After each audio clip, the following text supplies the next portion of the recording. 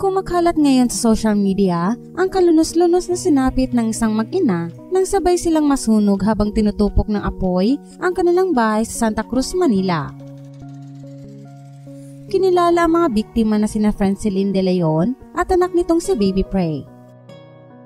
Ayon sa balita, nagsimula ang sunog sa Ilya Street, Barangay 352, Santa Cruz, Manila, bandang 6.13 ng umaga habang ilang minuto lang ang nakalipas ay itinaas na sa ikalawang alarma ang sunog bandang 6.80 ng umaga. Agad namang idineklarang fire out ng sunog bandang 6.55 ng umaga. Ngunit dahil light materials ang palibot ng bahay, ay agad na kumalat ang apoy sa buong bahay at dahil dito'y hindi na nakalabas ng buhay ang magina. Makikita sa larawan ng batang nakaupo sa bintana ng kanilang bahay na wala ng buhay dahil sa pagkakasunog.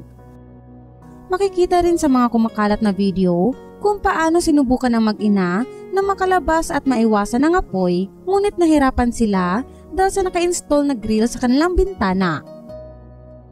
Nahirapan din maging ang mga kapitbahay nila na tulungan sila dahil sa mga nagsisiputukang mga kable ng kuryente na inaabot na rin ng tumataas na apoy.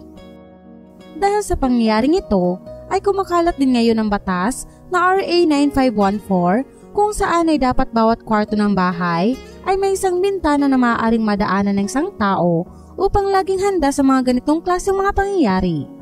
Ayon sa batas, every sleeping room shall have at least one outside window Such window could be operated from the inside without the use of tools, keys, or special efforts or knowledge to provide a clear opening of not less than 560 mm in width and 800 mm in height. The bottom of the opening shall be not more than 1220 mm above the floor, except if the room has two doors, providing separate ways of escape, or has a door leading directly outside of the building. Nakakalungkot man isipin na dahil sa dumaraming kaso ng mga magnanakaw at mga akyat bahay, naiisipan ng marami na magkaroon ng grills sa bawat bintana ng kanilang bahay. Ito ay upang hindi malooban o manakawan.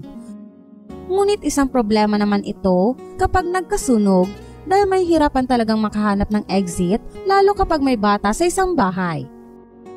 Kaya naman ngayon ay hinihikayat ng karamihan na siguraduhing may maliit na bintanang kasyang isang tao upang maging exit nila sa mga hindi inaasahang sakuna.